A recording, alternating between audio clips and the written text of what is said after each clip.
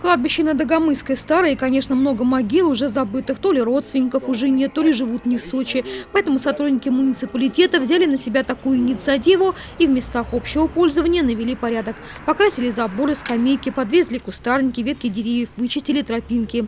Первый заместитель главы города Мугдин Чермит лично поблагодарил каждого за помощь в наведении порядка. Мы призываем всех сочинцев э, выйти на улицы города, выйти в свои э, дворы, навести порядок на придомовых территориях, покрасить входные портальные двери, э, очистить от наклеек водосточные трубы.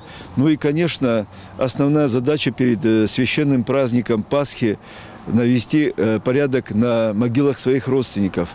К сожалению, активности не наблюдается. Это очень и очень плохо. Традиционно порядок на кладбище наводится в канун Пасхи. Для уборки на местах захоронения близких сочинцы могут получить в прокат необходимый инвентарь – грабли, метлу, ведро, лопату. Услуга эта предоставляется администрации кладбища любому желающему бесплатно. Нужно только иметь при себе документ, удостоверяющий личность. Вопрос э, граждан – это убрать могилу родных и близких и вынести мусор в места для сбора.